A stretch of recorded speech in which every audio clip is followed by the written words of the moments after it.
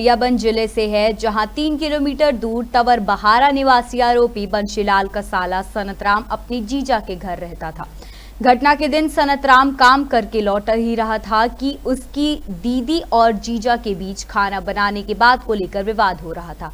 विवाद इतना बढ़ गया कि बात हाथापाई तक पहुँच गई। अपनी दीदी के बीच बचाव में सनतराम डंडा लेकर आया, जिस पर गुस्से से लाल हो रहा जीजा, बंशीलाल ने कुल्हाड़ी उठाकर गर्दन पर वार कर दिया। एक ही चोट में साले पास के पलंग में जा गिरा, जहाँ उसकी मौत हो गई। सूचना के बाद कोतवाली पुलिस ने मामले के आरोपी जीजा के खिलाफ हत्या का मुकदमा दर्ज कर लिया है और उसे न्यायालय में पेश कर दिया है। जीजा के घर में आके सोया हुआ था और उसी समय बंसीलाल भी घर पे आया और उसने अपनी पत्नी से खाना बनाने मांगा, खाना मांगा। तो पत्नी ने बोला कि अभी खाना में टाइम है। इसी बात में कुछ उन दोनों के बीच में विवाद हुआ।